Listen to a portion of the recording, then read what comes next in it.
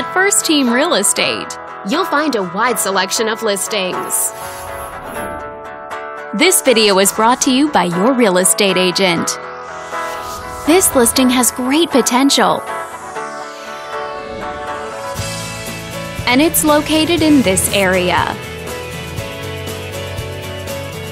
Currently listed at just under $15,000. It offers an excellent value for the area. Wondering how it stacks up against the competition? There are now just over 110 homes on the market within this zip code.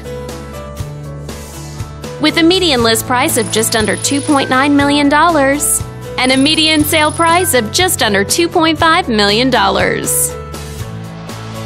If you're thinking about getting a mortgage for this property, you could be looking at these options with regards to current interest rates and monthly payments.